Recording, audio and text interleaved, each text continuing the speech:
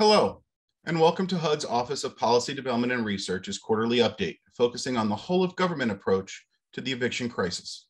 This is our final update of 2021, and we are delighted to be able to bring these briefings to you on a regular basis.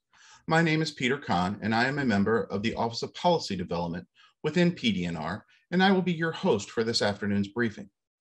Over the course of the next hour and 45 minutes, we will have our traditional overview of US housing market conditions, a new data segment referencing Census Pulse survey data, a keynote address by Margaret Hagan, followed by a panel discussion moderated by Margaret.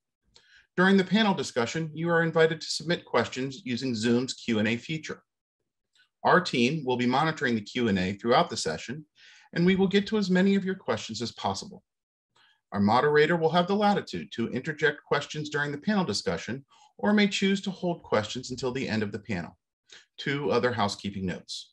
First, if you are commenting via social media regarding today's session, please use the hashtag PDRUpdate. Second, today's session is being recorded and will be posted to our website, huduser.gov, once post-production is complete. And now, please join me in welcoming Ben Winter, PD&R's Deputy Assistant Secretary for Policy Development, for his opening thoughts on today's briefing. Good afternoon. Thank you all so much for tuning in. Um, so every quarter we host these events so that HUD stakeholders uh, have the opportunity to learn all about the current status of our nation's housing market uh, and so that you can hear directly from your housing market economists. And I say your economists because these folks here in PD&R are dedicated public servants uh, that are passionate about serving you, the American people, uh, finding new ways to use data about our nation's complex and diverse housing market uh, in the policymaking process here at HUD. Uh, so thank you to Kevin Kane and Veronica Helms for sharing your insights with us today. Uh, also, every quarter, we do a deeper dive on a particular policy topic that keeps us really busy here at HUD. And this quarter, we've assembled a really fantastic panel to talk about eviction prevention uh, which in many ways I think speaks to the core of HUD's mission. Even though eviction prevention has not always been an explicit function of the federal government. Instead, that policy domain has really lied within the purview of state and local governments. But this pandemic has clearly underscored why housing stability matters at a national level. It shined a light on the inequities uh, of the eviction process for people of color and disadvantaged communities. And it helped us truly understand at the federal level how frustrating it is uh, at the local level to service providers and landlords alike uh, that we don't have a national infrastructure for efficiently and effectively preventing evictions. Uh, but most importantly, I think this pandemic has underscored how important it is to expand our nation's housing safety net to promote healthy outcomes and economic opportunity for everybody so we can realize a more resilient and equitable nation coming out of this crisis, uh, which is why the president's Build Back Better initiative has such a strong housing pillar to it. So we have learned a lot this past year. During the pandemic, HUD has been an important partner to the interagency whole of government approach to prevent evictions that the White House has been leading with other federal agencies like Treasury, Department of Justice, and CFPB. Uh, you'll learn more about these initiatives later on in the panel. We're also going to discuss uh, what we know about the impacts of evictions on households. We're going to talk about some of the best practices for delivering services on the ground, but we're also going to talk about gaps in our knowledge about evictions and how to address them. And those gaps are exactly where HUD's Office of Policy Development and Research is all about. That's where we thrive in. Uh, conversations like these will help us further develop HUD's research agenda around evictions and housing instability and will help our continued collaboration with other agencies to think about what role the federal government should play going forward in this really important policy space. Uh, so without further ado, I am going to kick it off by introducing Kevin Kane, your chief housing market economist. Uh, Kevin, can you tell us a little bit about how our housing market is doing this quarter? All right. Thank you very much, Ben. Appreciate that. Uh, and so I thought for uh, this special kind of holiday edition here of the PD&R update, uh, we're going to do a, a seven hour deep dive taking a look at the economic impact of COVID on Santa Claus and the economy of the North Pole. Uh, actually, just kidding. Uh, we are going to be looking at the, uh, the nation's sales and rental markets and a brief look at the nation's economy. although I'm not going to talk for, for seven hours, it may feel like seven hours by the time I'm done. Uh, so before I start, as always, I want to give a special thanks to Randall Goodnight and Marissa Dolan, uh, two of our field economists around the country uh, who put together uh, all of the maps that you're going to see in my presentation this afternoon. Uh, we try to be consistent with the color themes uh, of the maps where brown indicates worse off conditions or declines in a variable and blue indicates better conditions or increases. so let's start by looking at the nation's economy. so here we see in this figure the monthly job totals for the past two years. Uh, and this is on a non-seasonally adjusted basis. Uh, so jobs peaked at around 151 million jobs in February of last year, and we lost 21 million jobs in March and April. Uh, by the end of November, the economy had 150 million jobs, uh, and so we have recovered 95% of the jobs lost uh, during those two months. Uh, in this next map, uh, we see the change in non-farm payrolls during the third quarter of 2021 relative to a year ago. Uh, so the national change uh, was an increase of 4.6%, uh, and that compares with a loss of 6.9% a year ago. Uh, jobs were up in every region of the country, and you can see here the whole country shown in blue. the five regions that are in darker blue increased by faster than the national average, uh, and that was led by the Pacific up 5.9% and New England up 5.7%.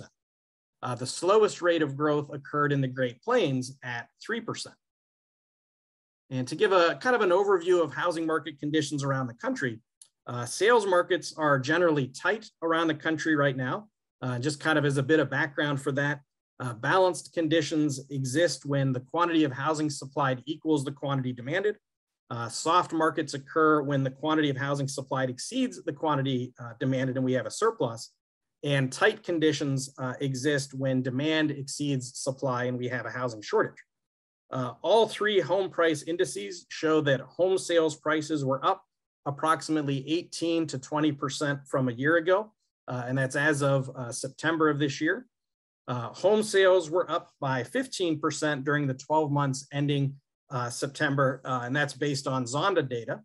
Uh, apartment market conditions are also tight around much of the country and tightening. Uh, according to RealPage data, the national apartment vacancy rate was 2.7%. Uh, rents were up by 12.5%, uh, and those data elements as of September. the number of multifamily units permitted was up by 33% from a year ago. And taking a look at conditions uh, around the, the 10 different HUD regions, uh, these are assessments that are provided to us by our field economists. Relative to last quarter, uh, improvements in an area are shaded in blue uh, and declines are, are shaded in brown. Uh, and so you'll see there's no, no blue areas this time around. Uh, on the sales side, again, conditions generally seem to be tight around the country. Uh, previously balanced conditions in uh, New England and New York, New, New, Jersey, as well as the Great Plains, the Pacific, and the Northwest. Uh, they've all uh, tightened. And on the apartment side, uh, apartment market conditions are generally tight around the country. Uh, once again, New England, New York, New Jersey, they've seen their markets start to tighten as well relative to last quarter. Here we see the three different home price indices uh, the S&P Case-Shiller Index, the FHFA Index, uh, and the CoreLogic Index, all showing home price uh, increases relative to a year ago. Uh, in September, the S&P Case-Shiller Index had an increase of 20%, while the FHFA and the CoreLogic Index were both up by 18%. And if we look at the, the far right of that figure, uh, those, those most recent numbers, you know, we start to question, maybe we've reached a peak in terms of, of the price increases you know, it looks like things may be leveling off and, and uh, we've possibly hit that peak. So we will see moving forward. Uh, in this map now, we take a look at the year over year change in the CoreLogic Home Price Index as of September. Uh, nationally, again, home prices up by 18% based on the CoreLogic Index, uh, with uh, that compares with an increase of 7% a year ago. Uh, prices increased in all uh, states, so you can see every state shown here in blue. States in the two darkest shades of blue increased by more than the national average, and that was led by 30% gains in Idaho and Arizona. and prices were up by double digits in 47 states. Uh, the smallest gains occurred in DC, up 5%, and North Dakota, where prices were up by 8%. Uh, price growth accelerated in all states except for the District of Columbia, where it remained uh, steady relative to last year.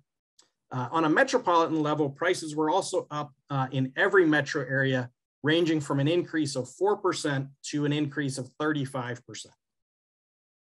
Based on Zonda data, total home sales increased by 15% during the 12 months ending September. Uh, gains occurred in the whole country.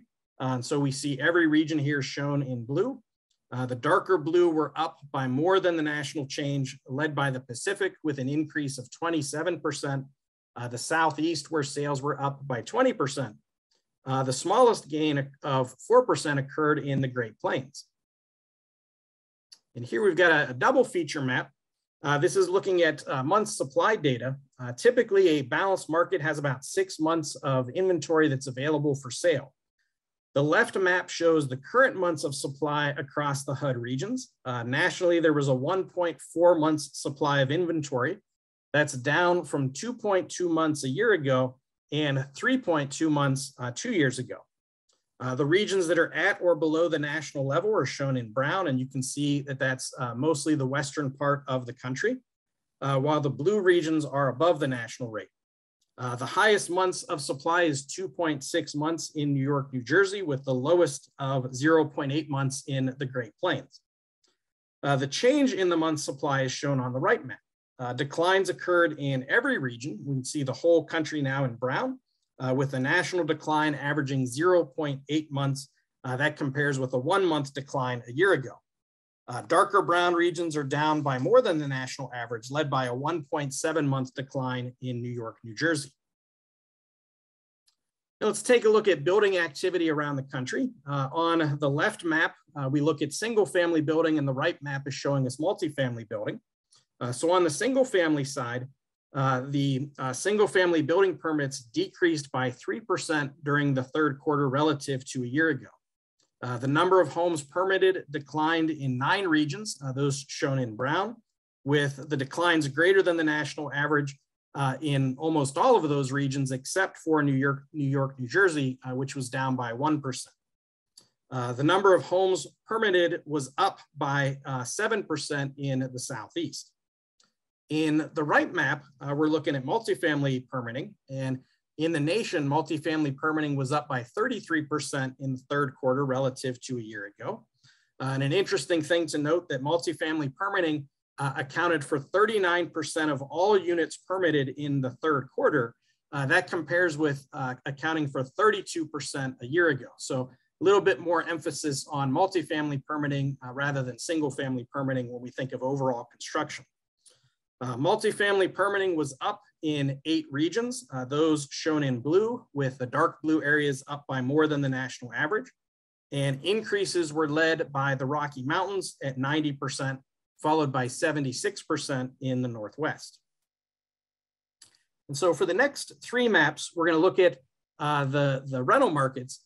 And on the left side, you'll see the regional focus on the right side, uh, looking at uh, the metropolitan area.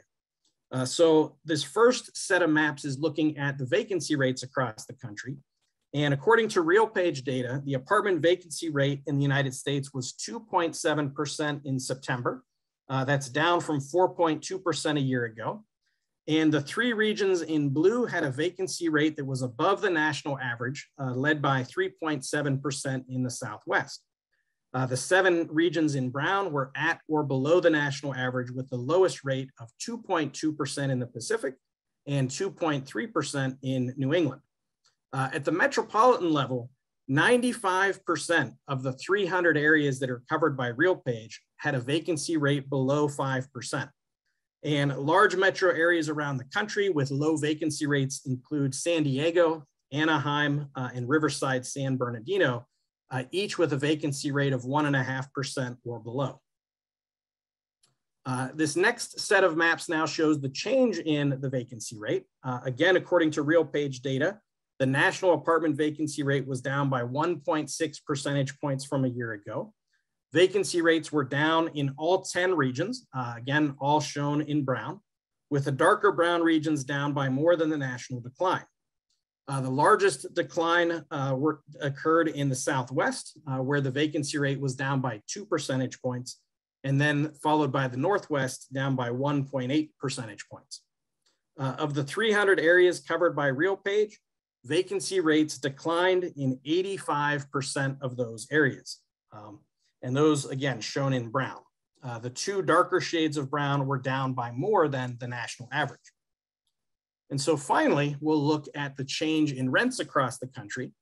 Uh, and rents were up by 12.5% nationally, according to the RealPage data in September uh, relative to September of last year. Uh, and that compares with a slight decline in rents a year ago.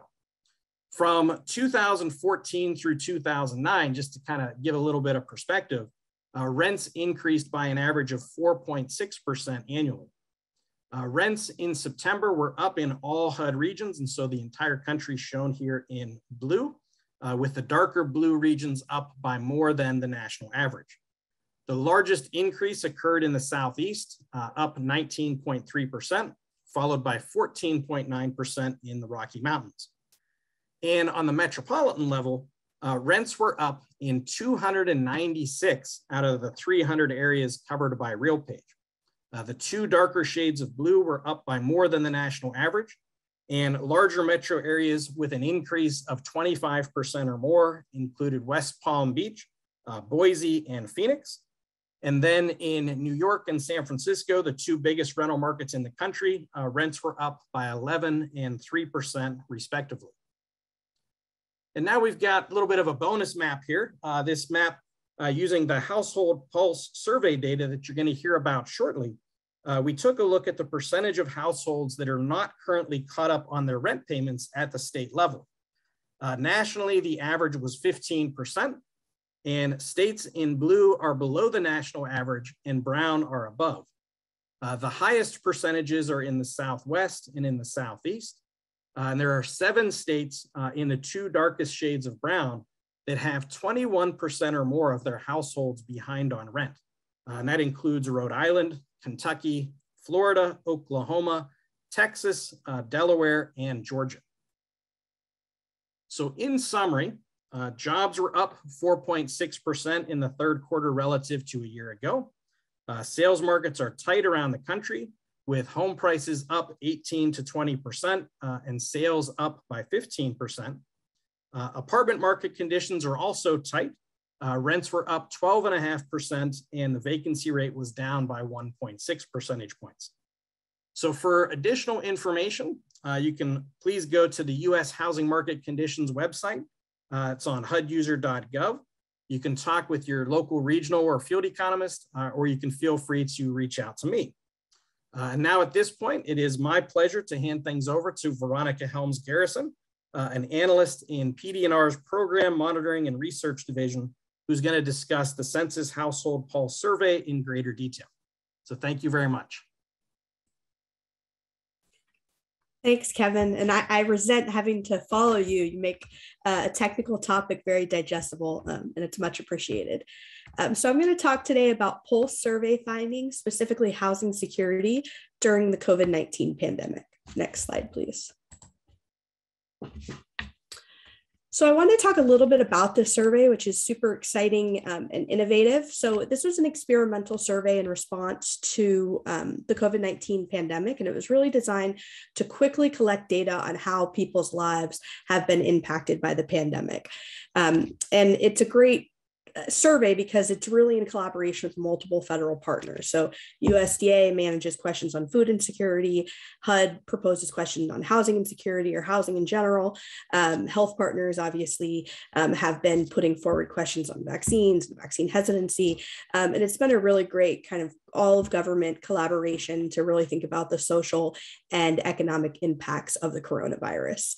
Um, the survey was first employed on April 23rd, uh, 2020, so a little bit after um, when all of the lockdown started. Um, and the data release works in the sense that it goes to federal partners first, and then a week later it's released in public files or tables, and then in a week later it's released in public files. Um, and so federal agencies have a little bit of a lead to kind of anticipate um, what the data is looking like. And the survey has gone through many iterations. Um, we're currently in phase 3.3, which started in December one on December one, um, and moving forward, it looks like it'll be a monthly release. But um, I think there or there's still uh, room to work through it. I think that's part of the great thing about this survey is it's adaptable um, and constantly changing. Next slide, please. So I'm going to talk specifically about the housing questions. Um, there are a few questions that have been in the survey through since April of 2020. So that's questions about tenure, um, questions about building type, which were added later on, confidence to pay. How confident are you that the household will be able to pay next rent or mortgage on time?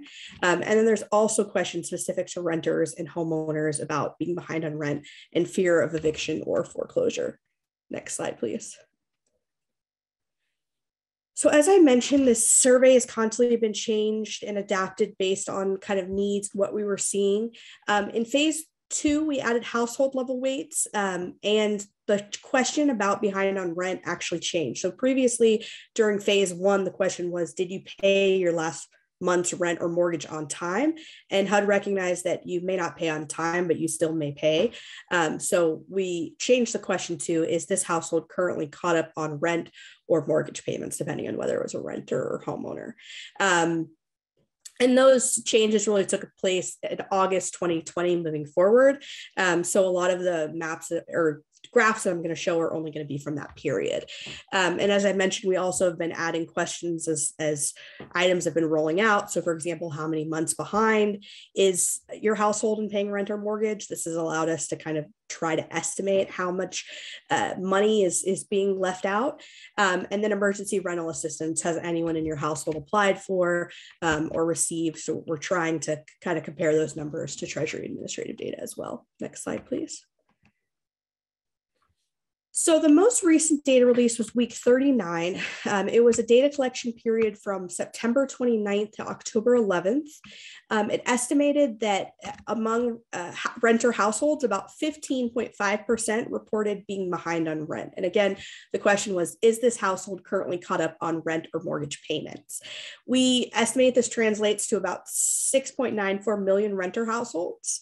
On average, we find that folks are about 2.5 months behind on rent. Um, and among all US renters, we see that about 7% are fearful of imminent eviction, which is about 3 million renter households, or about half of those who are behind on rent. Using that months behind metric that I spoke about earlier, we estimate that uh, the total rental arrears amount among renter households is about 18.4 billion in back owed rent. Um, and just to give a little context to this, pre-pandemic in the American Housing Survey, we saw that about 2.8 million renter households were at least one month behind on rent, and about 3.3 million renter households feared imminent eviction. Next slide, please. So this slide, and I apologize that some of the um, lettering is a little off, um, is the estimated number of U.S. renters not confident in their ability to take to pay their next rental payment on time. And again, this is one of the questions that has been in the survey throughout the entirety of it.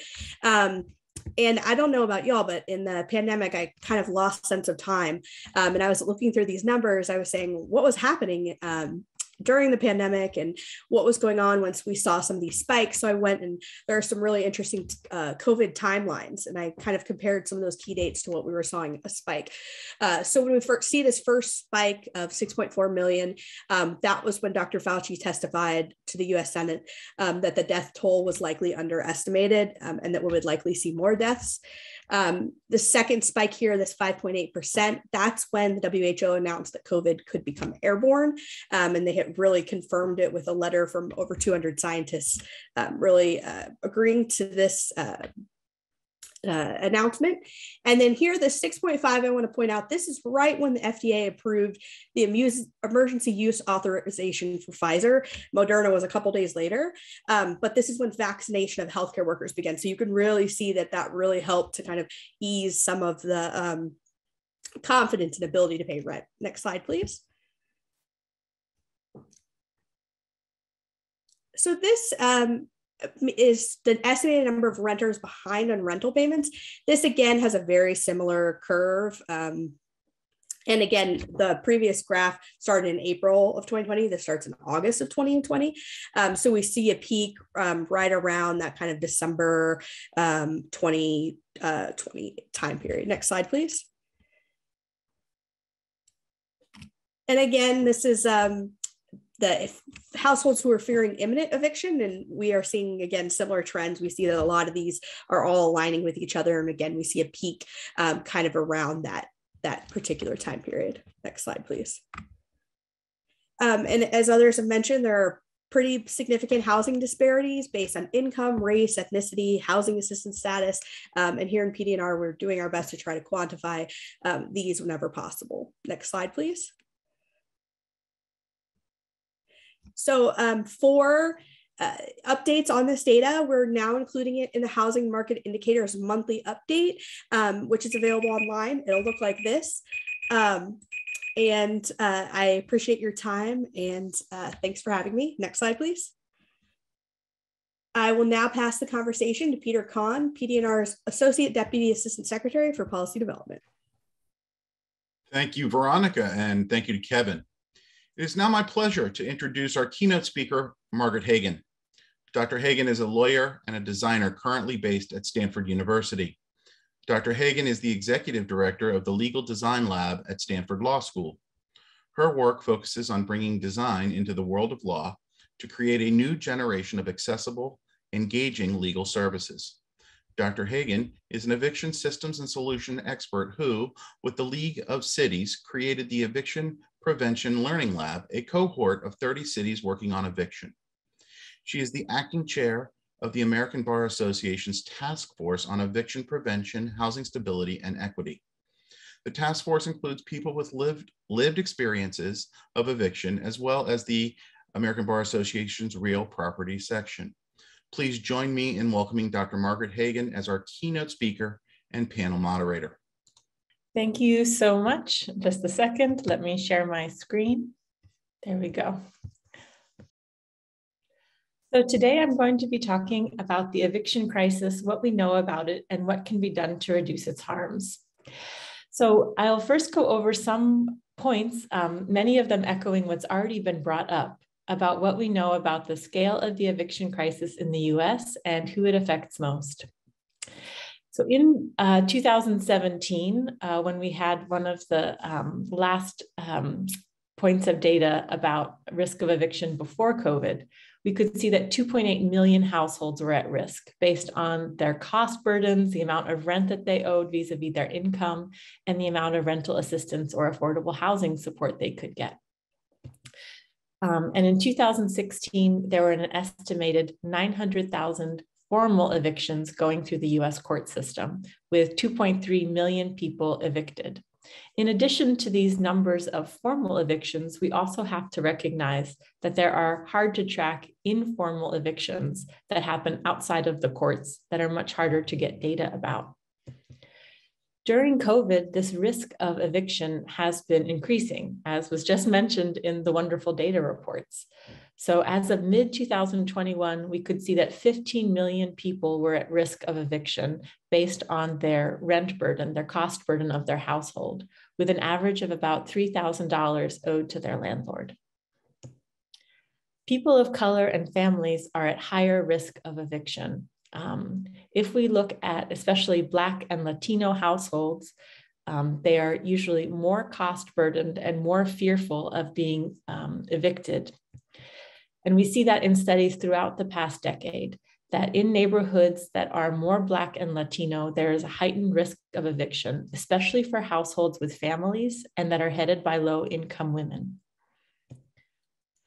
We have to think about eviction in the broader context and the downstream consequences that come with either being forced to leave your home, with having an eviction lawsuit filed against you and that record in the court, or having an eviction order lodged against you um, and that record being in the court.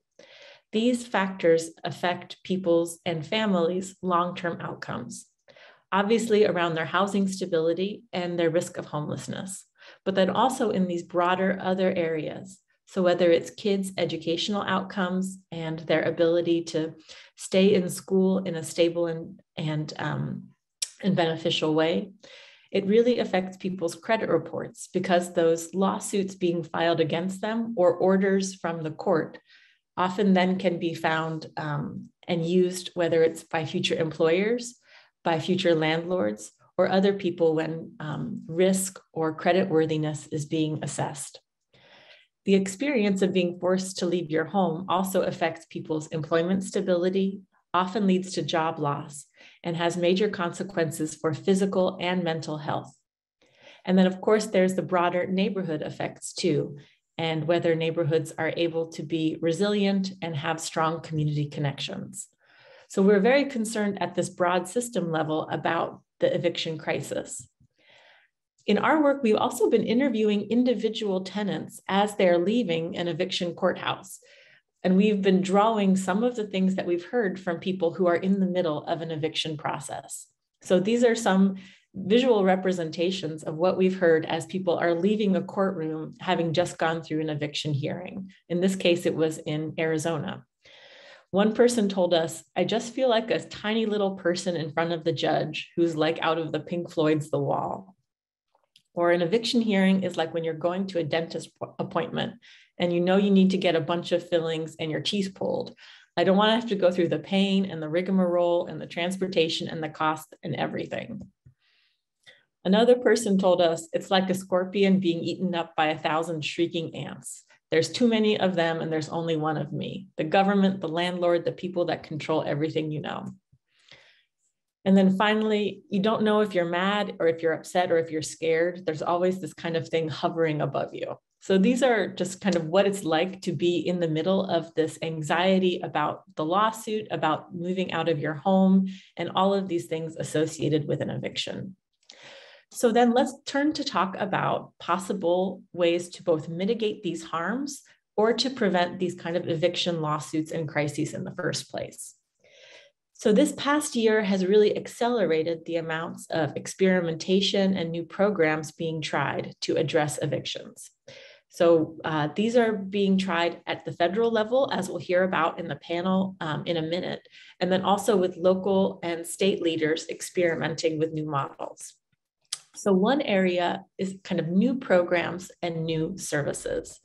This includes eviction diversion programs, which are usually um, a coalition of actors at a local level, often hosted at a court, but with legal services and social services and rental assistance combining to stop an eviction lawsuit and instead get the landlord and tenant to settle, um, stabilize the tenancy, and avoid a court outcome.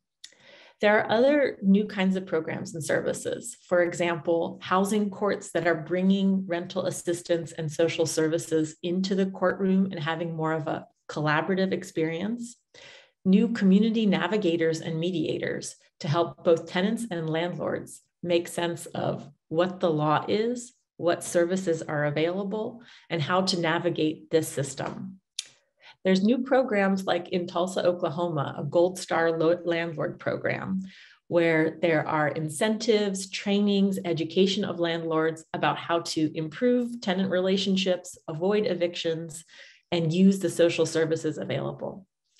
There are also many new coalitions at the local level of local funders and foundations, government agencies, social service providers, courts and legal aid coming together to form coalitions to find strategic long term solutions. And there are new technology tools to make legal services more available and the process clearer. At the same time as there, are programs and services, there's also a lot of new policies and laws that being tried out and evaluated. So one obviously was the eviction moratoria. Before COVID, there had been um, bans, temporary bans on eviction in the form of moratoria when there was harsh weather or natural disasters during the public health emergency, then there were both the federal and then local moratoria to put a pause on whether landlords could file for eviction or whether um, court orders could be enforced against tenants. There are also other ways to get more and better assistance to landlords and tenants. So, right to counsel, increasing the amount for legal aid or court self help services to get more of this kind of legal guidance available to more people also discussions about when the eviction system can be used. So setting up standards around when landlords can use the eviction system and possibly having a good cause or just cause rule where um, landlords could only bring a tenant to court if there was a lease violation and not for other reasons. There's also discussion about improving how the court proceedings go. These are usually summary proceedings that move very fast. So there's explorations of how to bring more due process and more ability for the litigants, even if they don't have a lawyer, to navigate the court process. To stop the downstream consequences, especially for credit reports, future employment, future rentals, there's exploration of new policies that would mask eviction records or expunge past eviction records.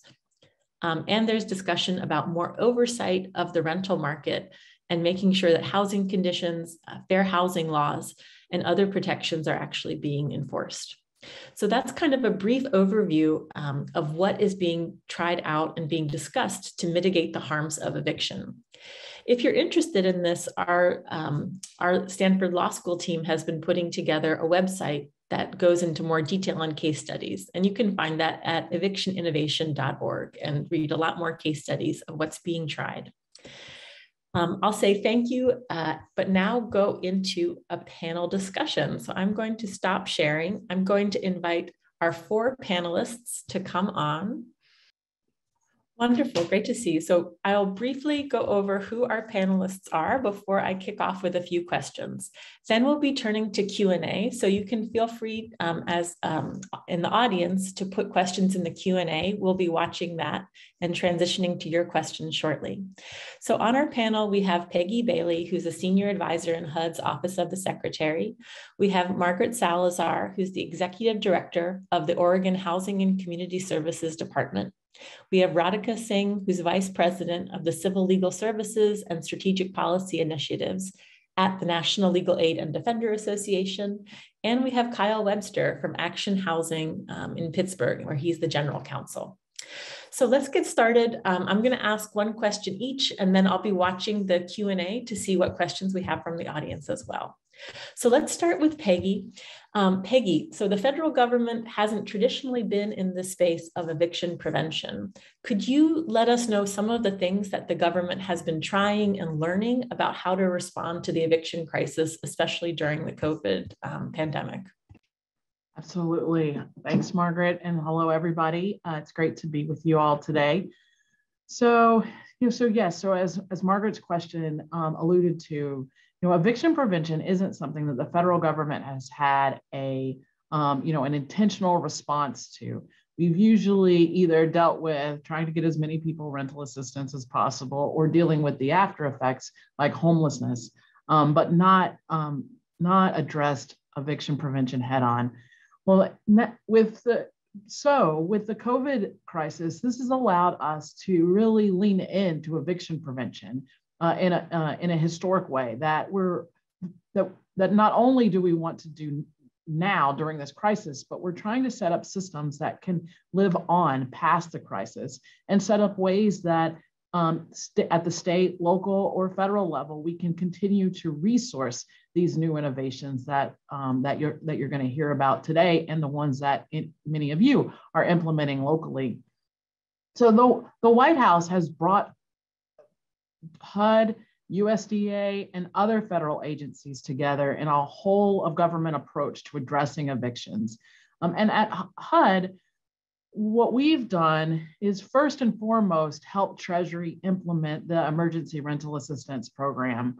Um, uh, you know, Treasury uh, didn't have a, a deep resource, deep uh, um, a capacity to deliver to do housing programs at Treasury. So it's been um, great to have the expertise of Treasury of getting resources out to communities as quickly as possible but bring being able to bring HUD's expertise on how do housing programs work at the local level and what are the best ways to deliver rental assistance um, to people. Um, we helped with the um, with the uh, develop the the frequently asked questions that Treasury has used to administer the program. Um, particularly important for this webinar, uh, the Office of Policy Development and Research played um, a huge role in helping Treasury think through um, formulas uh, and other and other uh, data points that were necessary for them to understand as they administered their program. And of, and of particular unique expertise at HUD, our Office of Native American Programs um, worked hand in hand, is work, has and is continuing to work hand in hand with Treasury to deliver the emergency rental assistance, pro, the first program resources um, in Indian country and making sure that uh, tribal nations are able to use the resources um, and align those with existing housing resources. Also at HUD, we have a new um, program that, uh, that the Office of Policy Development Research um, is overseeing. That's a $20 million grant program for legal aid services. We just recently announced those grant awards. I can, uh, I or someone can put a link in the chat so you can see who the, the, the 10 communities that are receiving those resources, who they are. Um, and we're really excited about not only just simply leaning into uh, legal aid assistance and that important role that that community plays in eviction prevention and getting us closer to the day when more, um, when all tenants have access to legal assistance as they face evictions. But, um, but what we'll be able to learn um, is, are, are, the best practices. Um, and in delivering that program, we're working really closely with the Department of Justice um, as well, who has really increased their uh, participation in, uh, in, in eviction prevention in a way that I think will also help us help us for the future. Um, the last piece is the data tracking that you saw uh, presented earlier. Um, you know, we just being able, just following people, uh, the data around evictions um, from the national level and is something else that PD&R will be leaning into, fig- trying to figure out how we at the national level can bring together the disparate uh, data sources at the local level when it comes to evictions um, is something that is of interest to not only the, the president and the White House, but Congress as well. And we'll be, um, we'll be doing more. Um, Congress has charged HUD to do more in that space um, too, so that we can really start to understand the problem because that's the key piece, right? All of us know that evictions were happening before the pandemic. Um, and now we're, we're um, uh, taking advantage of this unfortunate moment to shine a light on evictions and, and hopefully be able to do things that are more proactive and not seeing eviction as just a um, inevitable uh, uh, poor outcome of poverty, but something that can be addressed and fixed and not just fixed for tenants, but for landlords as well, because addressing eviction prevention helps uh, both, both actors in this space. Thanks, Peggy. Just one brief follow up. Um, do you think that this federal government, whole of government approach is just going to be while the pandemic lasts for however long that will be, or will this last beyond the emergency period? I'm confident that it's going to last beyond the emergency period. Um, uh, we've already continued to have uh, meetings around eviction prevention. Uh, we're all receiving regular data updates from outside partners who are monitoring um, evictions uh, nationally. Uh, and, and as I said, we at HUD have still have um, other initiatives that we have to that we've been charged to implement by Congress. So, um, so I'm I'm confident. And one of the you know, good things is that with the emergency rental assistance, the second tranche of resources, there's a longer tail on being able to spend those dollars. And so it's not something that we're just looking at today. We want to make sure that every dollar that's been invested in eviction prevention is used as efficiently and um, effectively as possible. Terrific, thank you. Well, let's turn now to Margaret Salazar in Oregon and let's hear more about local state um, lessons learned. So what have you been learning in Oregon so far? Um, and especially about the dynamics between ERAP, emergency rental assistance programs, vis-a-vis eviction preventions. Um, what are you seeing? What's working? What's not? What lessons have you been learning? Great. Thank you so much, Margaret. And, and thank you to HUD for the invitation to participate today. So um, Oregon Housing Community Services is our state housing finance agency, but we also work all across the housing continuum from preventing and ending homelessness and utility assistance all the way through homeownership activities. We've been very busy, as have our colleagues all across the nation, standing up and administering a number of emergency response uh, programs. And this year we have provided $370 million in rental assistance to Oregon landlords on behalf of their tenants through a combination of state uh, rental assistance programs funded with general fund and CRF dollars as well as, of course, the emergency rental assistance program. So we're at a point now where we have a ton of information about lessons learned. So the first thing I would just say is um, the lesson around infrastructure and capacity. And this is so, so important for folks to understand that building out uh, the emergency rental assistance program required the creation of an entirely new infrastructure for delivering resources at this scale and speed. So um, one just note about Oregon is that we got a little bit of a late start because we were running state uh, rental assistance programs that had their own time constraints. So we were a little bit late in standing up ERA, but we quickly rose to be a national leader. We're finishing out ERA one. Uh, we're almost uh, finished with that, and we are now already beginning spending down ERA two but building that infrastructure i think was was humbling. So you know and i want to just tell the story because i think it's um, indicative of what's been going on nationally. Historically the way that our state approached rental assistance was, was very much locally driven. There were pass-through dollars that came through our state agency whether they were state general fund dollars or things like esg funds or home TBRA uh, dollars. And uh, that model works really well when you pass dollars through to local agencies. They have relationships with landlords, they have relationships with tenants, they do case management, and they pair rental assistance with other kinds of benefits for residents, whether it's food services, utilities, whatever that might be. But what we quickly learned when we launched ERA was that that model was no match for what was going to be needed for ERA to deliver uh, rental assistance at the scale and speed that the public was demanding, as well as, frankly, stand in for uh, eviction protections because our state has some eviction protections, but the overall eviction moratorium burned off, uh, expired, and suddenly ERA was the only option for folks. And so we quickly learned as we rolled out these dollars that we needed to add additional capacity. Our local program administrators um, simply couldn't staff up quickly enough in the middle of a labor shortage. So in addition to our local program administrators, we brought on an outside vendor and we have hired hundreds of staff, temp workers to call folks to help complete their applications, outreach uh, folks, as well as folks to process applications. So standing this up in the, in the matter of just a few weeks, um, you know was was very very challenging and it's we've added capacity along the way in in waves. And i will just also say the admin dollars for this program absolutely were not sufficient to meet the scale and speed that the public was demanding. So that was one piece.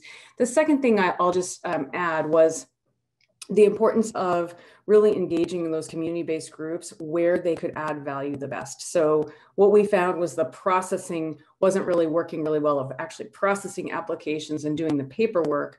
But when we can engage those community groups to do outreach to Oregon's diverse communities, communities of color, and be able to translate materials and have those that touch, a trusted partnership, um, including a partnership with the Oregon Health Authority with the groups that they use to help with the vaccine distribution and, and contact tracing.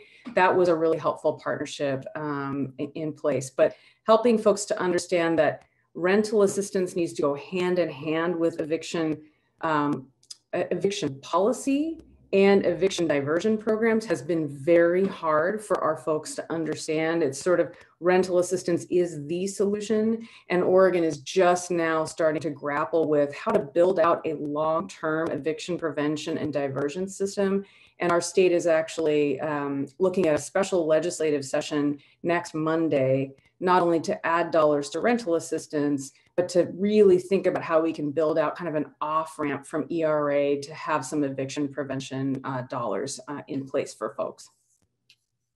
That's terrific, all that detail and those lessons learned. One follow up when you look back and you think, especially through an equity lens, were there specific lessons learned either from the community based organizations or at the state level about how to get that outreach to harder to reach communities or folks from different backgrounds? Yeah, so one of the lessons that we learned last year in administering the CRF dollars was that um, we had you know local dollars going out to local community organizations with those trusted relationships but tenants couldn't find the front door. And so that was something really important that we were sort of directing folks to their local program administrators. They were calling, they were getting busy signals, they were getting wait lists that were closed or open.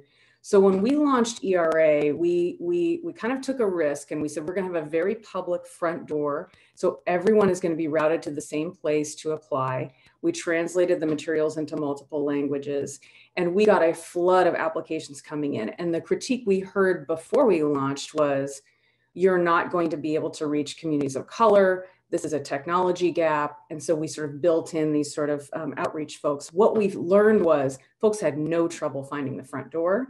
Um, it was a very, very effective way to reach people we were uh, really thrilled because we had real-time data with that front door that we are doing a great job of Oregon, reaching Oregon's Black and African American community and our Native American community. We are not doing a great job or as well as we need to do to reach our Asian Pacific Islander and Latinx community members. But because we have that real-time information, we can see that. And then we can develop new partnerships with Oregon's farm worker outreach community groups and things like that to be able to, to bridge those, those gaps. And so that was one piece. The second thing that we did was uh, we were very intentional that when we had a public front door that we didn't want to have a first come first serve process we wanted to really build in a way to have a prioritization schema that took into account proxies for things like race and ethnicity and risk of eviction really margaret uh, building on the slides that you shared about risk of eviction family size uh, and certainly the disproportionate impact on our communities of color. And so we used an Urban Institute Racial Equity Index when we built out that system so that in real time the applications are, are rated and ranked um, in the process. But I would also say that the final piece on this is we've had no trouble with application intake, that it has not slowed down. So we're just hitting this nerve of this latent rental assistance need that existed pre-COVID and you know the, we actually don't really even need to invest that much in outreach because we're getting so many folks in the door so those are just a few of the things uh, we learned here well, thank you so much for all that detail, Margaret. Well, let's go to Radhika and following up on some of these points. Um, from your work, um, what are you seeing on the ground, especially when it comes to diverting when folks are in that almost having a lawsuit filed against them or being brought into courts? What kind of people are you seeing come in the door? What kind of scenarios are happening right now? Everything you can imagine would be my answer, but just really to to maybe give some background to to legal aid um, and legal assistance for for folks who who are on the call who may not know. Um, I think a good a good kind of measuring point is the Legal Services Corporation and the people served by grantees of the Legal Services Corporation. They serve people in every county in the country.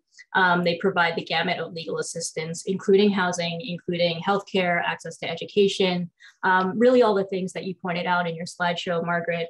Um, and the at or below 125% of the poverty guidelines um, in 2021, just so, to put in perspective, what that meant was about $16,000 a year for an individual as their salary and about $33,000 for a family of four. So we really are talking about uh, the overlay of people who are immediately at risk or facing evictions um, and are homeless. And just to add one other piece to all of the things that housing stability underlies that you pointed out, Margaret, the other piece that housing stability underlies is actually people being pulled into the criminal justice system, which then sets off a whole new set of collateral consequences and people's ability to obtain and retain employment, um, healthcare benefits, all of the things that we're talking about with regard to economic stability. So I think that, you know, I think that um, people and, and kind of academia often puts housing in the social determinants of health category of economic stability, but it touches on every single category that we're talking about. Um, so, I mean, I think that that's an important part of considering why we care about eviction prevention. Um, that it's easy to kind of look at the immediate piece and say we need to prevent evictions, but looking longer term at the health of our communities and the role specifically that legal services um, folks provide in, in really building up that stability and the ability to, to have strong and healthy communities. Um, I, the other point I do want to point out is um, the spectrum of legal services that are provided or legal assistance. So range every from everything in terms of self-help, self-help, know your rights, um, which has been really important during this phase, right? When we've had various moratoria come out, um, ability to kind of raise defenses um, to halt a, a, proceeding in court. Um, but then also the effect of full representation, which is on the other side of the spectrum, of course, but full representation in housing cases is really where we've seen the most effect. Um, and so I do want to um, thank Peggy for pointing out the 20 million, the 20 million dollars uh, in, in grants that really provide that full representation um, aspect, but also look at that self-help and how are we getting people through the door um, because we need that full spectrum. But just to, to say, before the pandemic, when we had full representation in legal services, um, that meant that in most cases, people were remaining housed or they had more time to move and find addition, you know, another place to have stable housing. They owed less in back rent, which affected all of those future conditions. And they avoided the record that you talked about, Margaret. Um, and so that's kind of why we feel like legal services is part and parcel of the solution. And to, to Margaret's point that emergency rental assistance and rental assistance is an important part, but there is another piece to eviction prevention. Um, and the I think the upstream pieces that you talked about um, or you asked about, Margaret, is really where we're seeing eviction diversion lie.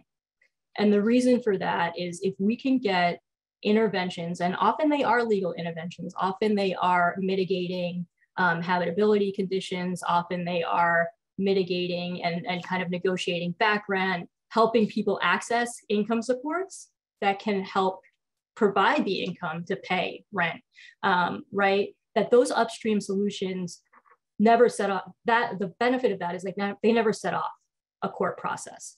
Once you're in the courts and the process is moving, and I'm going to give you a really stark um, statistic that we had come out recently from from Richmond, Virginia, is that the majority of evictions proceedings, evictions hearings in courts uh, occurred in less than three minutes. They were over in less than three minutes.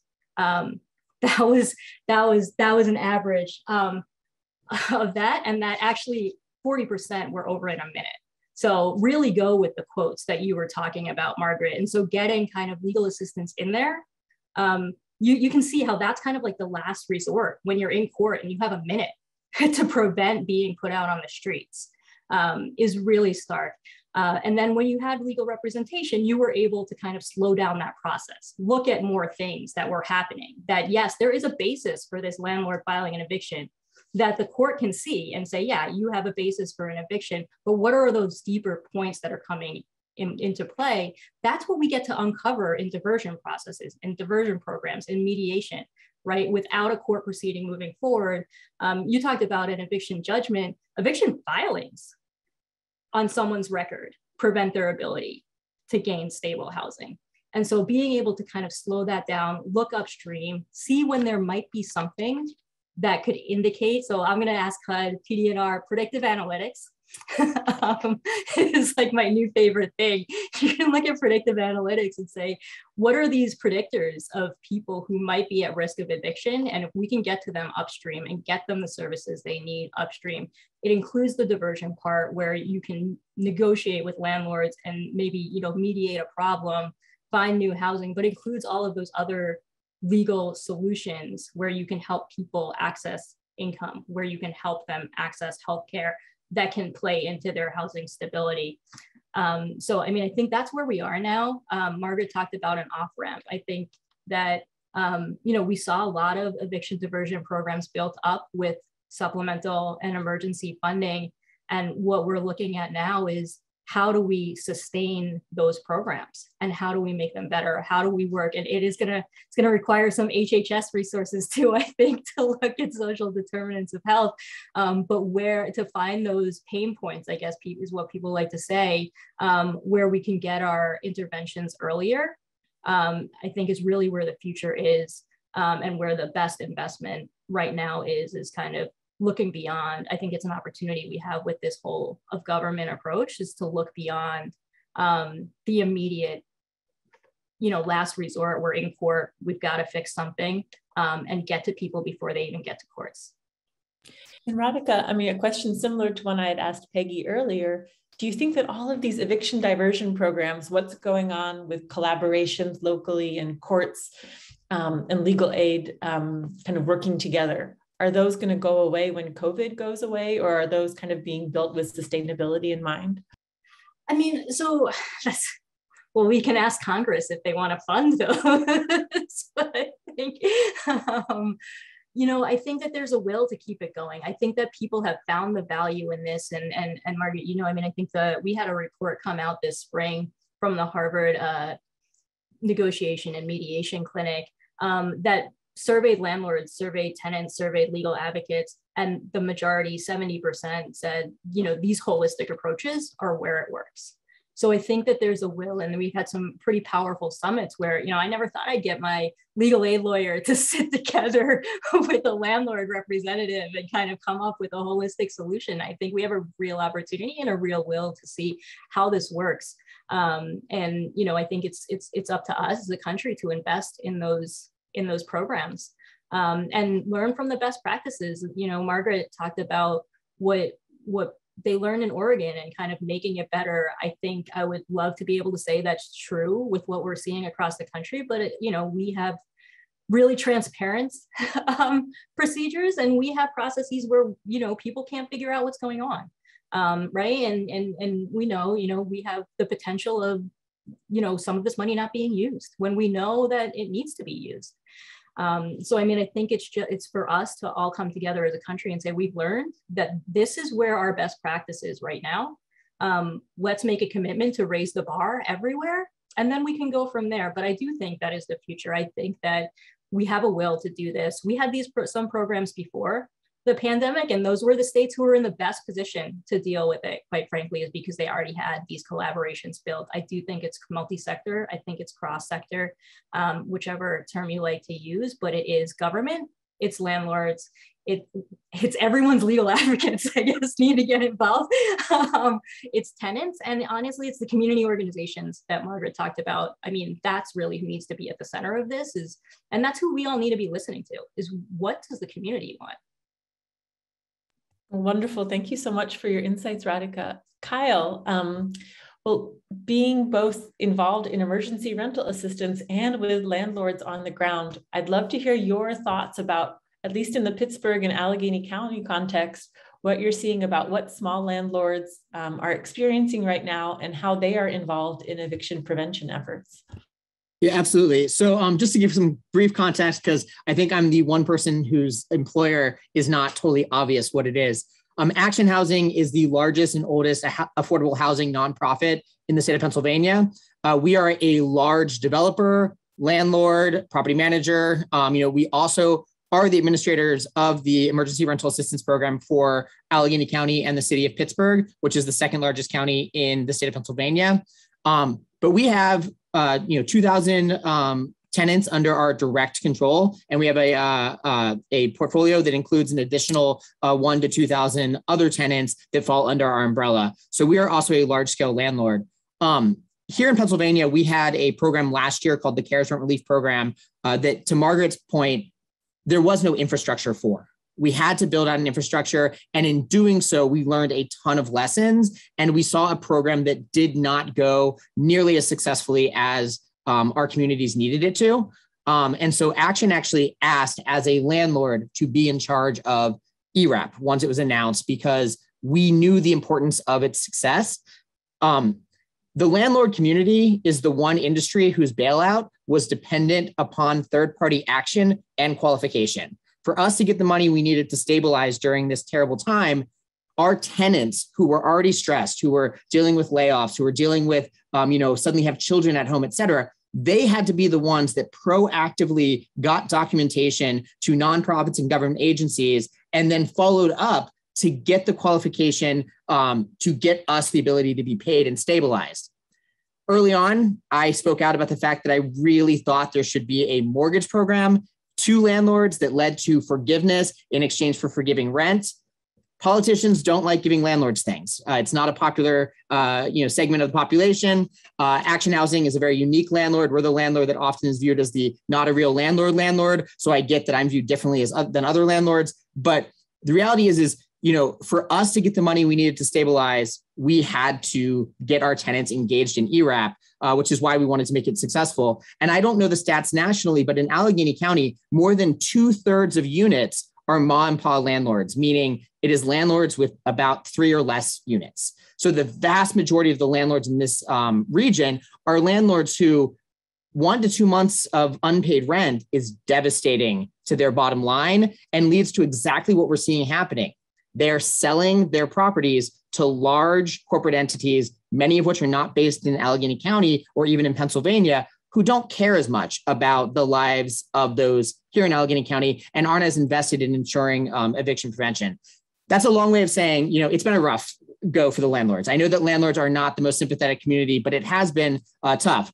Here in Allegheny County, given that we knew that we needed ERAP to be successful, we did a lot of what Margaret said. We um, partnered with a lot of um, community organizations. Action Housing has 27 community and nonprofit partners working underneath us to help us implement this program locally. Uh, we have set up drop-in centers to uh, break down the digital divide. Uh, we have uh, made a lot of different accommodations to meet people where they are at. And that's because we want to ensure that both the landlord and the tenant can be stabilized. We also have a very strong partnership with the courts. Um, and we've, we've done a lot of really, really strong outreach with um, the landlord communities, the different uh, organizations to try to reach them.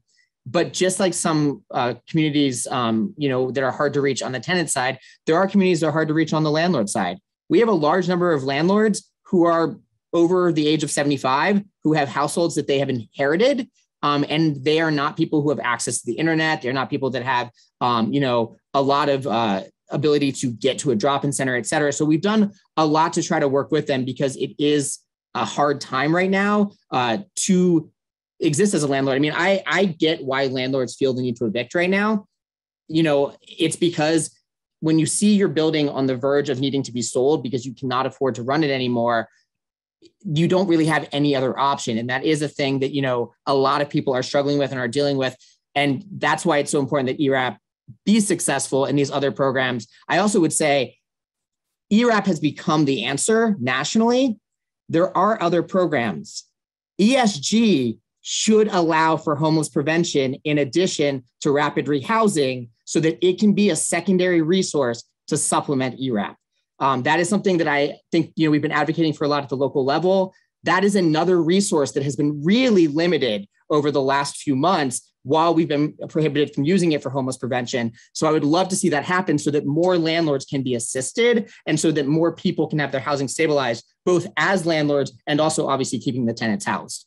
Um, that's a long way of saying, you know, again, it's been a very, very tough go, I think, for the landlord community. I think that you've seen a lot more landlords come to the table because the eviction moratoriums forced them to the table, um, which is fantastic.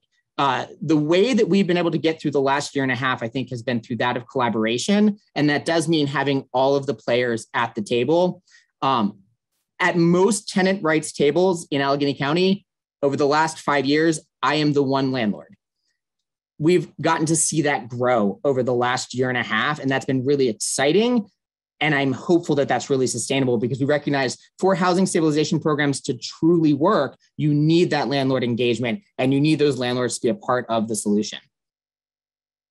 Thank you, Kyle. I also wanted to ask about your experience, um, especially in the processing, managing ERAP how you've been using data and tracking, building on Margaret Salazar's points from the Oregon experience. What's that look like in Pittsburgh? Absolutely. So, I mean, that's one of the key things that we really uh, strove for on day one was we wanted every single thing to be tracked, um, 100%. Uh, we wanted to know everything about both who we're uh, targeting, who's applying, how they're getting through the process, and also how our team is doing at helping and assisting them. That way, we've been able to make real time um, targeted changes uh, in order to ensure that the program is successful. A great example of this early on is we realized that uh, we really had a disproportionate number of applications for individuals over the age of 62. There really were not that many in the first month. So we started doing some targeted outreach and targeted partnerships to try to bolster that, that number. Allegheny County is the second oldest in terms of median age county, uh, urban county in the United States. It doesn't make sense that our over 62 year old population was as low as it was early on, other than we weren't doing the right things to reach that population. So we started doing those really targeted outreaches, and it was really uh, a, a great success in terms of seeing that number uh, turn around. I do think a key thing in data usage is we've had to be humble, and that is so, so important. This is a new program, this is a new infrastructure, this is a new terrain. If I have ownership of my program and feel that everything I'm doing is right because I am the expert, I am failing. I need to be able to be informed by the data and informed by the community members who both have access to the data, but also have access to the front lines to tell me, hey, you may think you're helping this community, but you are failing them. And here's what you need to do to change. And so we use both those collaborations and that data to make those real time changes to really ensure that we are reaching everyone and not just getting them into our system, but getting them out of our system. We want people to get stabilized. Our goal is to deny as few people as possible our denial rate right now is, I think, 1.4%. We have one of the lowest denial rates in the country. And we are incredibly proud of that because the reality is, in this moment, it's hard. And the majority of people in need of this money legitimately need the money and qualify under the uh, criteria, which actually, you didn't ask about this, but I'm just going to say it really quickly. Two key things about ERAP that make it successful. It's one of the first programs I've worked on that I see from day one, there was ample admin allocated to the program. And that is so important to the success of a program. Nonprofits and government have to be able to build out the staff to a degree that leads to the success of the program.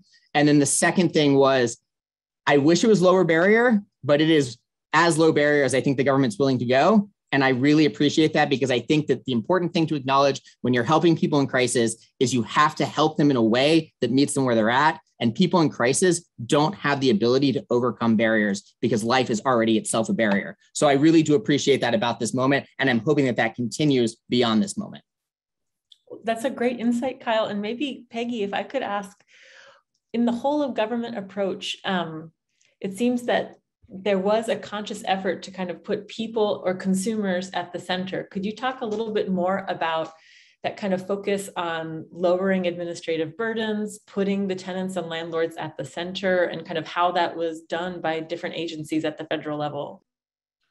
Sure. So, you know, primarily um, given the how huge the amount uh, of money there was for uh, the emergency rental assistance program, that's where I'll focus is how we how we really thought about doing that through the emergency rental assistance program. Um, and luckily, uh, we uh, Treasury was given a, a, good amount of flexibility in how they designed the program to allow um, us as the federal government to, to do that. And mostly, I think there are two things driving our, our thoughts on that on this. One, as you said, we were we were centering people and trying to get resources to people as quickly as possible and limiting the administrative burden to do that. We've learned lots of lessons, particularly in the homelessness space, about how hard documentation is in the uh, in particular and other barriers that we as the federal government often set up that make it harder for people to get the resources that they need.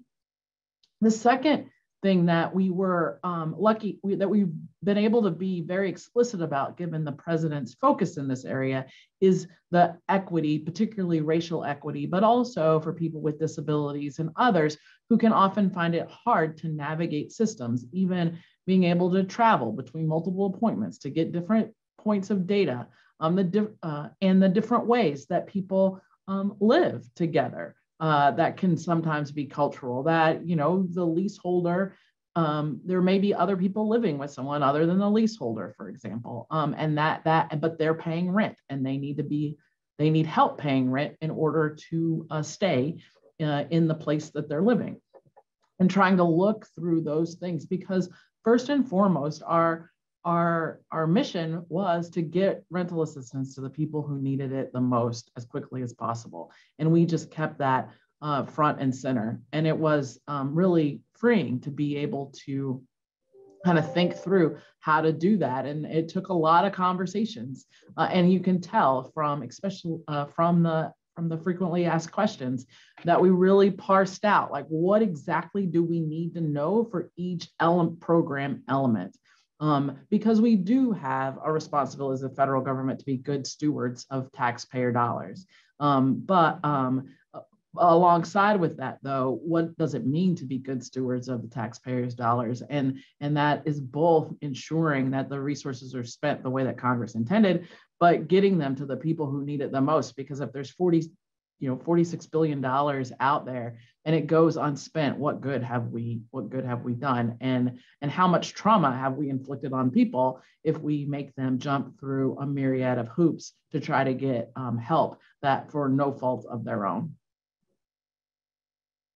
that's great. And maybe if I could ask both Radhika and Margaret Salazar this question. Um, when we think about the programs part of it, so eviction diversion programs, ERAP, what are the laws or policies that you're seeing in different jurisdictions that you think might lead to kind of this longer term prevention or mitigation of harms of eviction?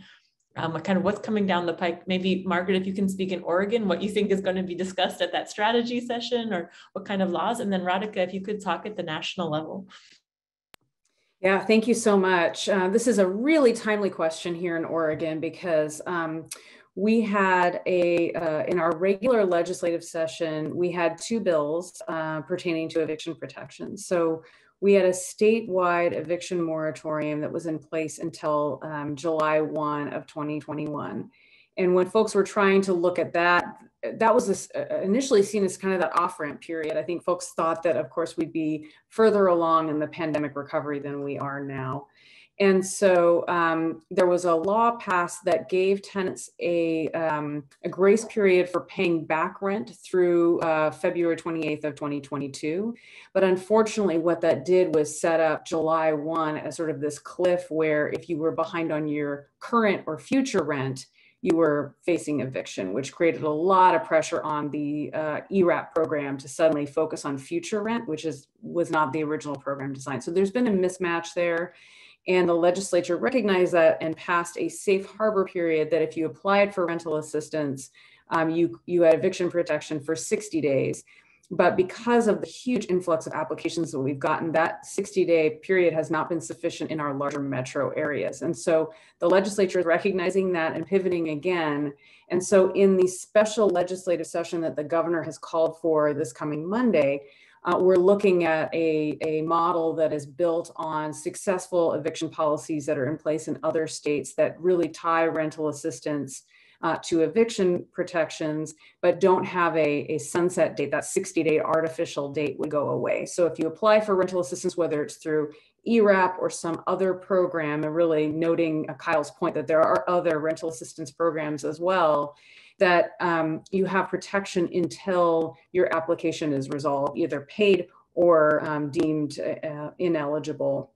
And so that would that would create um, a lot more breathing room to get these dollars out the door, and at the same time putting state dollars on the table to fund eviction diversion programs. So we're hopeful that that um, that blend will will will work uh, from a policy perspective. And I think again, making sure that the eviction policy marries well with the the requirements of the program, the, the rental assistance program is really, really important. And I think that's a lesson I hope folks have learned here in our state.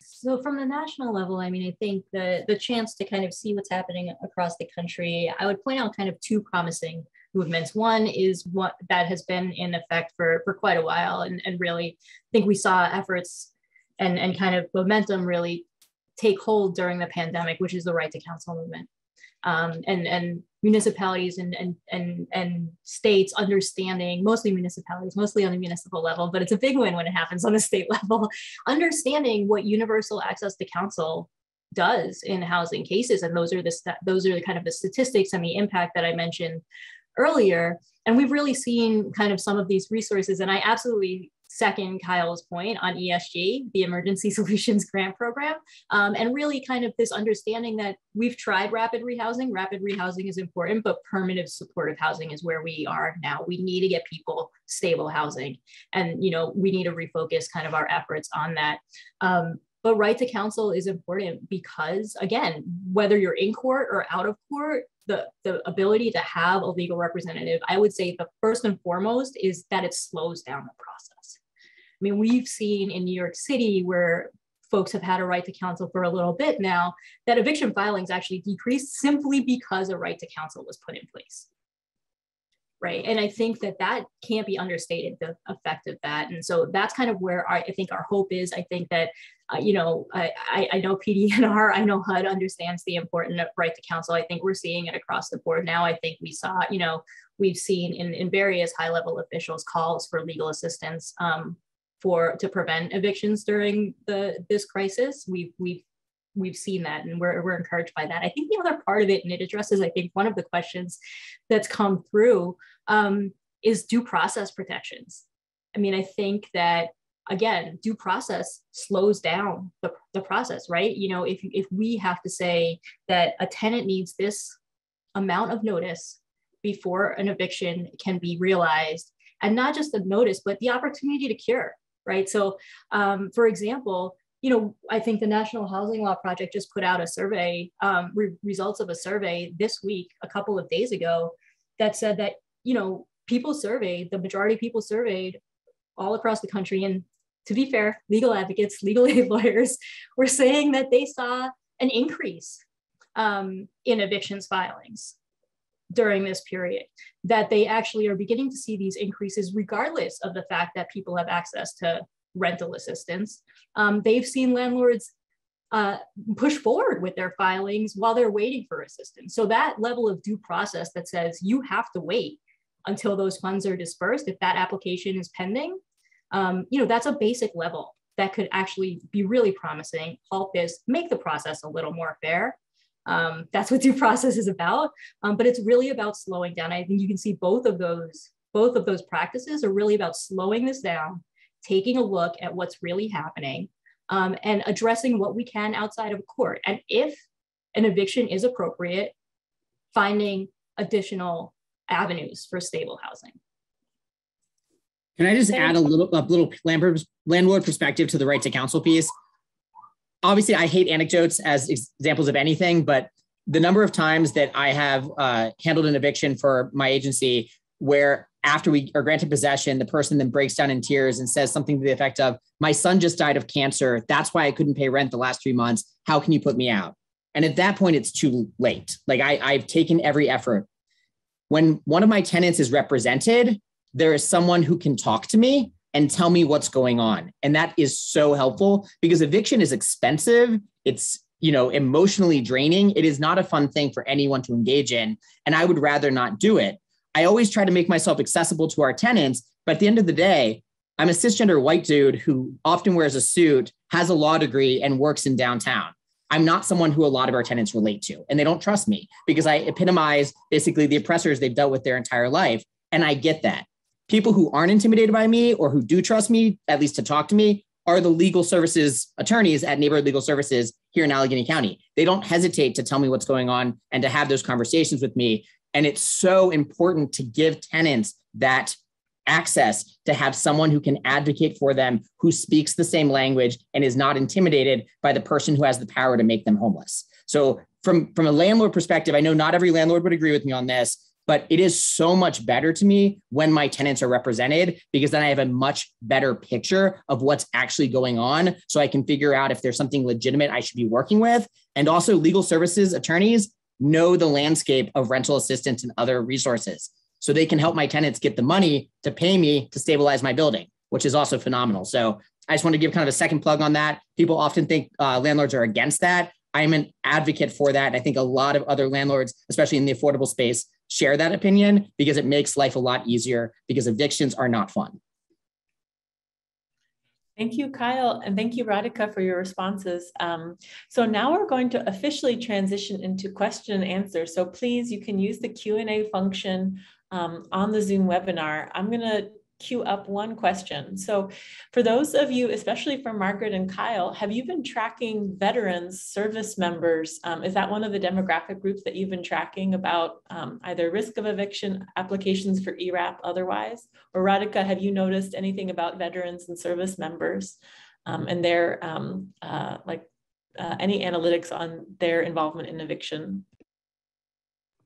no, I'll, I'll, jump in a little bit. I mean, we have not. Um, I don't think we've been expressly tracking that. I think it's a great question because we we do have you know so many active strategies right now to end veteran homelessness. We have set aside dollars specifically on veteran homelessness. So I will take that one back uh, to my team because I think that's an important you know, especially given the federal emphasis on ending veteran homelessness and the, you know, many states and localities have this sort of specialized resource, we can't overlook that. So I really appreciate that flag. I will take that one back. We have not tracked veterans, but I will say that we um, have done targeted outreach. Action Housing is actually the largest uh, owner of veteran specific housing in Allegheny County. Uh, we have strong partnerships with a lot of veterans based organizations in Allegheny County, and we have done a lot of very targeted outreach. I will be honest, um, we probably should have included that question. We got to the point where we were trying to make the application as short as was possible. So there was a lot of things that got scrapped that probably should not have been. Um, so we do not track that information, but we do have partnerships and targeted outreach to meet that population as best we can. Yeah, I think that actually the VA um, has some good numbers on this, and I'm sorry I don't have them on on hand. Um, but I think that for the reason Margaret talked about, I mean, so the VA for for a long time has had a program called the Supportive Services for Veterans Families um, program that has been aimed at providing and and accomplishing um, housing security for veterans, for people, uh, veterans and their families who are who are at risk of or facing homelessness. And they have been tracking a lot through that. I do know that throughout the course of the pandemic, the Veterans Experience Office has been holding. Um, I think what in the past they would be they would have held as stand downs, um, but kind of virtual stand downs uh, to reach veterans on this issue and, and many other issues. And, and you know, legal services has been a huge part of that, but it's a much broader piece to, to make sure that veterans have access to all the social services that can help stabilize um, you know, their families and communities. So I, to say uh, we don't have numbers on that, but I think that there are numbers, and like Margaret said, it, it goes beyond ERAP. Peggy, I don't know if you have anything to chime in, or I'll move on to the next question. Yeah, I was just going to put in the chat that the VA, as Radhika mentioned, has a site on this and eviction prevention. I'm gonna, I'll put it in the, I'll put it. So this question comes from Julia saying that watching eviction courts in Texas, there's a lot of variance about what's actually happening in courtrooms, how the laws on the books are translating into judgments or how the process is going. Radhika, is this a common thing or do you have any insights about how different courts can be held accountable and make sure the law is actually being followed? Other than getting a legal representative in there to make sure that they're they're doing this. I mean, I think that this is a common thing, and I think part of it is because of the way our courts are set up. Um, is that you know not everyone has a unified court system. Um, there's you know very little I think that beyond kind of civil rights um, violations and, and maybe you know basic due process violations, which I know this question raises, but I'll get to in a moment, um, that the federal government can do um, with regard to courts that are not federal courts. Um, and so when you have just, and again, justices of the peace, they're kind of pointed out here um, as well, but you know, we have uh, in various court systems across the country, um, people who are even less trained than justices of the peace who are making decisions about this. And so we've had um, during the course of the pandemic, for example, um, people who would come in with a certification that they, you know, when was when there were moratoria in place, um, you know, saying that they were impacted by COVID and so they are eligible for the moratoria and they should stay the case. And they immediately, the justices immediately put them into proof of certification hearings, um, right? And so I, I, would say, you know, I know it's not comforting, Julia, but we we are seeing this across the country. I think that is the importance that a legal advocate put can do, and I do think that it's important. Um, it just underlies the importance of due process looks different across the country. And so we need to set that standard of what that notice is, that's required is um, and what kind of that is. And once we have that, um, then we can challenge it. Um, and I know that, you know, folks in various agencies are interested in learning about that, but Um, you know, I think that right now, if what you're seeing, I would say what we're focused on is when we're seeing it play out disparately, we're seeing it play out across protected classes, that that is our best argument for fighting that. And that is what happens in housing. I mean, you saw the, the statistics that you pointed out, Margaret, right? I mean, people of color, um, people along gender lines, right? I mean, just because of the history of this country, there is a disparate impact that you're seeing with regard to evictions. And, you know, if you see biases in the way the justices are acting, that's another good case to make. Um, but that's really what, where I would say without these basic due process standards, that's where we are. Thanks. For the next question, I'm actually going to combine one from Luciana and one from Anne, and I'm going to direct it to Margaret and to Kyle.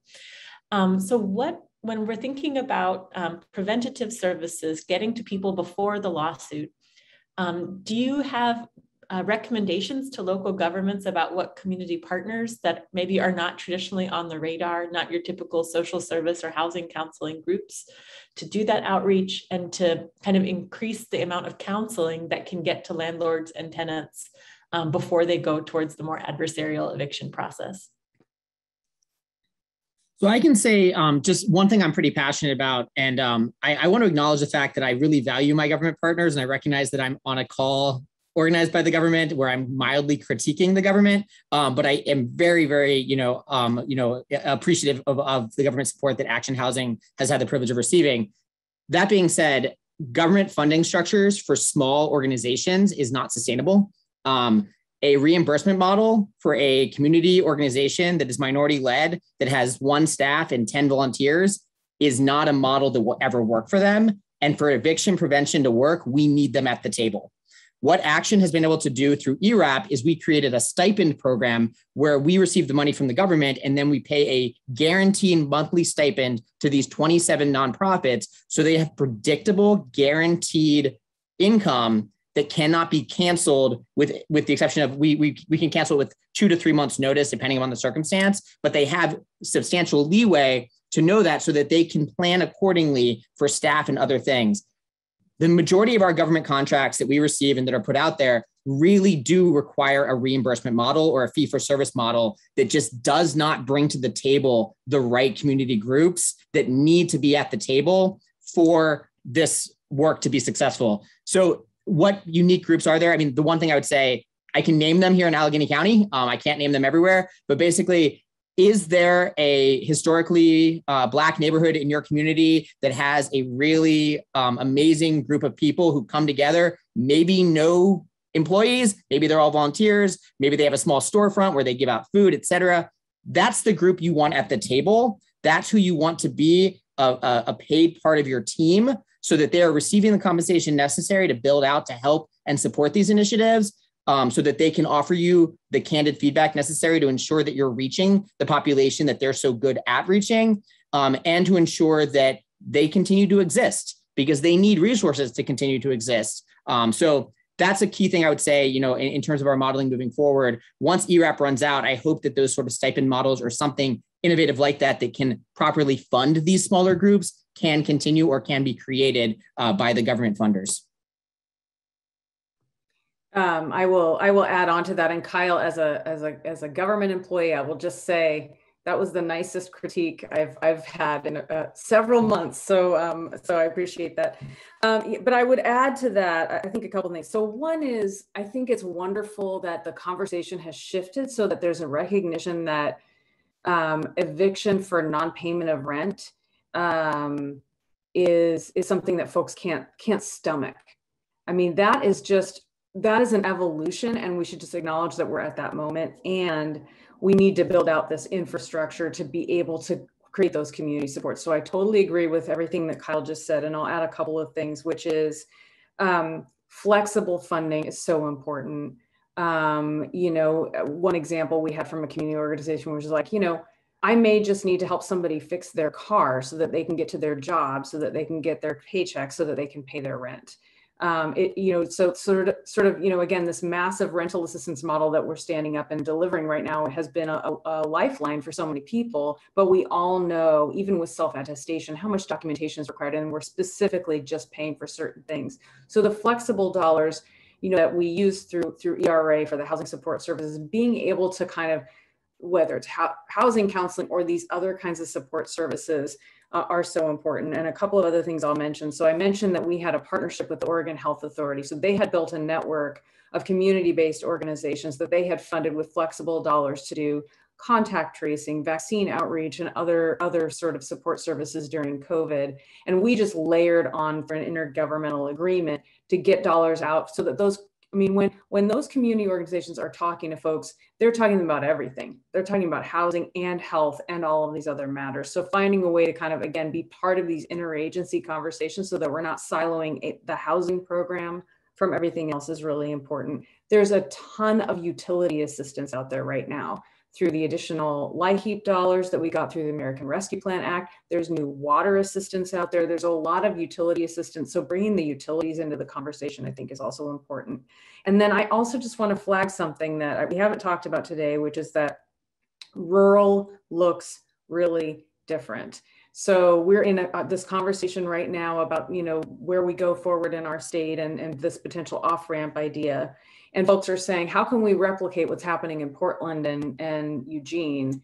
You're not going to replicate that exact model in a rural community in Eastern Oregon. It's going to look different. It's going to look different on the reservations. It's going to, it's just going to look different in our various communities. And so we have to, as Kyle was saying, invite those community partners to the table about what courtroom payments looks like, what that upstream prevention looks like. And, and this is the challenge that we're all facing is that we're in a moment where everybody wants these decisions and these programs to be operational yesterday. There's no time. So it is incumbent on all of us to fight for the time to have the right conversations with the right people in the room to build out this infrastructure in a way that's effective and sustainable.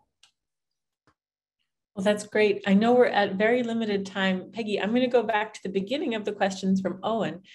This question's for you. Is HUD planning to make any of the COVID policies permanent features of their forbearances or loan agreements? So um, in that space in particular, you know, for HUD, it's really dependent upon where what our authority where our authorities lie. Um, and uh, so if if you're talking about uh, the things that we can do on uh, the the single family side, I think, you know, we're we're trying to think about what that right balance is between making sure that we're uh, preventing, um, you know, there's there's a couple of uh, you with limited time and not being able to ask you more about what your question is, right? There are the things that we can do to protect mortgagees and people who own single family homes, or things that we can do to protect renters in single family homes. I think um, you know a lot of what we're doing is trying to uh, is is replicating the um, the eviction moratorium that were uh, established for uh, for renters generally to protect renters as much as we can in single family um, dwellings, but um, but uh, but most of our but our focus really is on getting rental assistance to those um, those who are eligible to make sure that they can stay uh, stay housed. Great, thanks, Peggy. And let me try to sneak in one more question. Let me start with Radhika. Can inspection services like health and building inspectors play more of a role in slowing down evictions?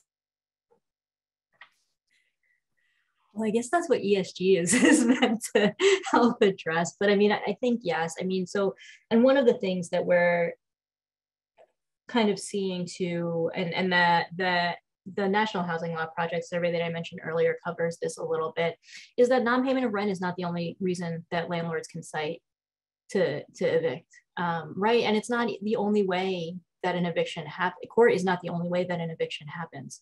So, you know, we we do see places where landlords, you know, because and it's happened during the pandemic where you know they have a stay on their court case because and, and i'm not i'm not trying to badmouth landlords. I hear you kyle. I do. And everyone else on here.